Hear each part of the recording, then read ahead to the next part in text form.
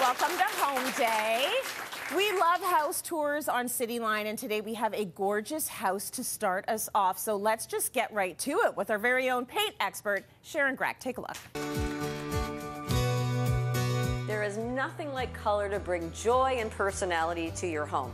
And I know I often talk about painted wall color, but even white walls can be the perfect backdrop to lots of color in a space. And I'm so excited to show you some examples here at my very good friend and artist Helen Billett's home. Now, I had absolutely nothing to do with this home, but I am so happy she's letting me share it with you because there's some great ideas for how to use color in a space. Now, Helen is an artist, so obviously her pieces and a lot of other pieces that she loves really inspired the color story throughout the home.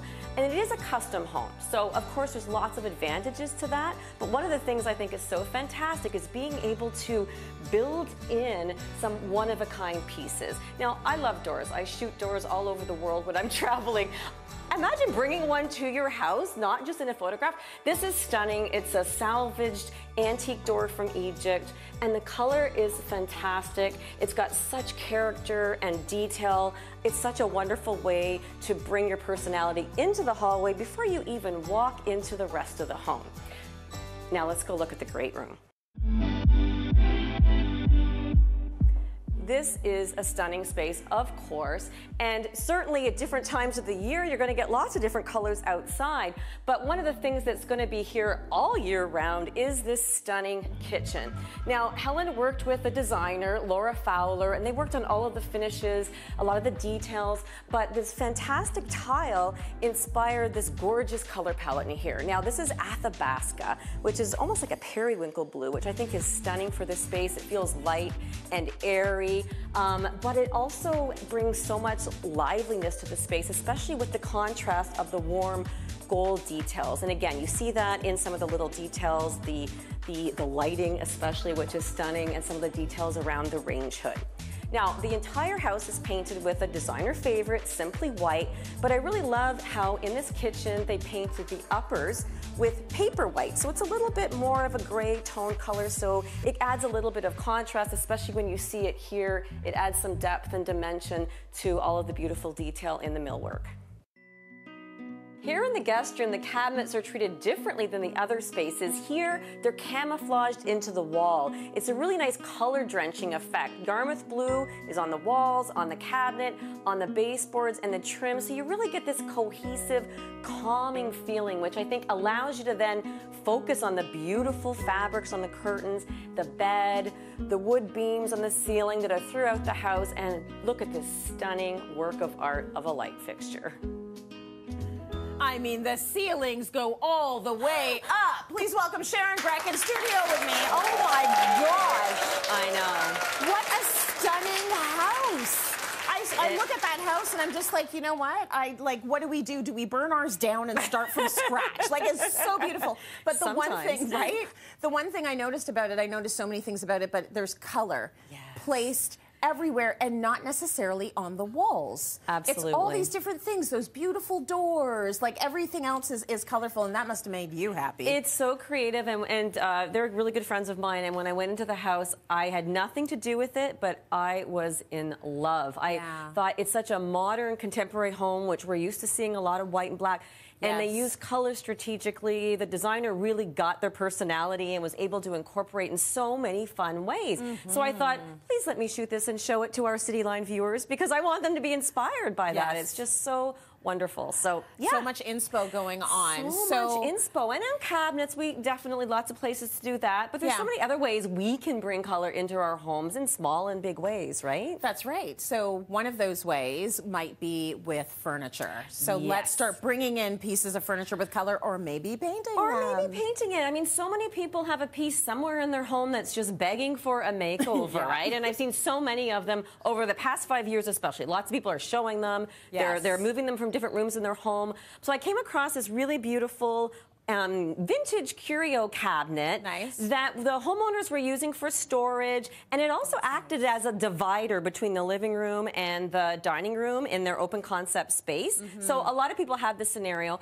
but they've been dying to paint it because it's a little worse for wear, and they've been dying to paint it. So I happened to find out about this. They happen to be friends with the Yeah. color woman. So there you go. I was like, that is a perfect piece. I could already see what it was going to look like. And Uh-huh. so I think I wanted it to be a statement on its own because it's so beautiful, but then it also had to connect with the with the rest of the space. So voila, this Beautiful. is what Look what we've she's done. done there. Look at this.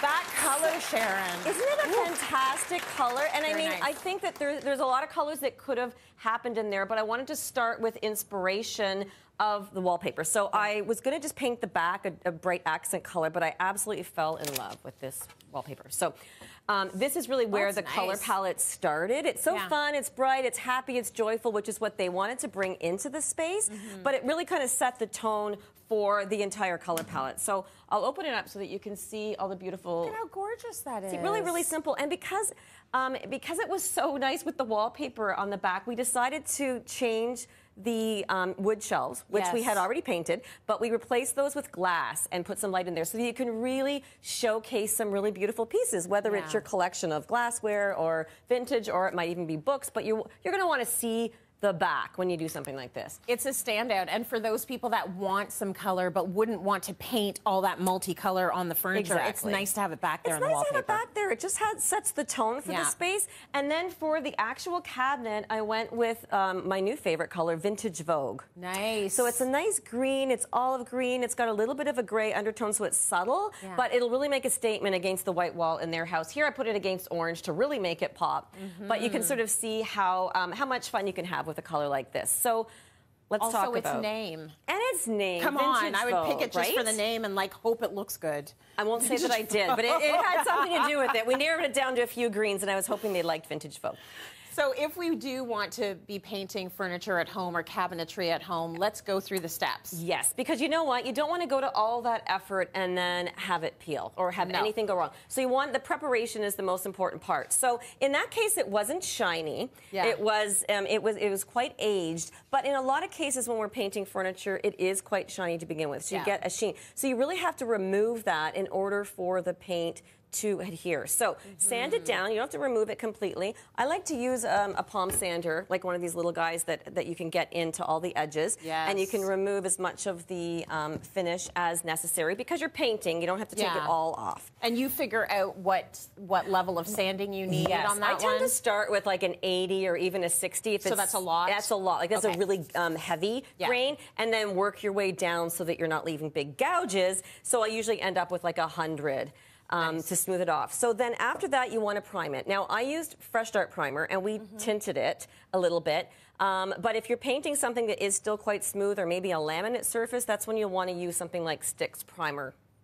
Because it's going to stick. It's going to stick. Okay, good. And that's exactly. what you want if you're doing all this work. And then the top coat, um, Yeah. as I said, we use Vintage Vogue. I use Benjamin Moore's Advanced Paint in a pearl satin finish, so it has it has nice durability. Yeah. But to make sure that it goes on as smooth and sort of a furniture-like finish, I highly recommend sanding with like a 120, even a 200 grit, so really Yeah. really fine, in between coats. Oh, So, really? yes, and you get a really nice smooth finish when you put your last coat on. And Oh, I like to use a good old whiz roller. But yeah. And then you wait, obviously, in between the coats for it to if dry. you can wait fully. 24 hours, do it. But Okay, I think you, you know even 12 will probably be great. And and there you go. You've got like it's amazing how much you can transform a piece, and you've given it a completely new life. I- It looks like a brand new piece of furniture. It just needed a little bit of love and some bit. color. That's beautiful. uh, gorgeous piece of furniture. So Sharon wants all of you to get inspired, and she wants you out there using your paint. So you're all taking home a Benjamin Moore gift card valued at $125. So enjoy that. Go get your paint. And now we are going to head back to Helen's house because it's gorgeous for a tour of her office. Take a look. As you're walking up to the second floor, the designer chose this fantastic bold patterned wallpaper. I just love how it contrasts against the simply white walls and highlights the beautiful lighting fixture. Now up here is the principal bedroom and off of that is this beautiful lounge slash home office. Now lots of highlights here, but come on, a wine fridge. This is fantastic. I have great friends. Um, and I love that they use lucerne. It's a bolder blue color, but again, with all the light up here, I think it just makes so much sense. It's contrasted with this beautiful textured yet white shiny tile. I think it really gives a little bit of sparkle into the space. But then what I really love about this space is this fantastic mid-century inspired sofa. Laura and Helen picked this funky vintage inspired fabric. It adds a funky pattern, it works with the wallpaper, and of course it really kind of ties in Helen's personality with all of her colorful artwork in this space. In the basement, Laura chose this fantastic wallpaper. It's so bold and colorful. I've painted my fair share of stripes in the time, but I gotta say, I love the wallpaper for the texture. They balanced it with, no, not white, to bring light into the space, but this is a fantastic basement with a wonderful mood. So they used Knoxville Gray, which has a nice green undertone, and it balances the wallpaper so well. It's the perfect place for all your collectibles and areas to store things. Now, the wallpaper continues right into this multi-purpose space. You can do a little exercising. Or I think for me, I prefer to hang out with the kids here and play some air hockey.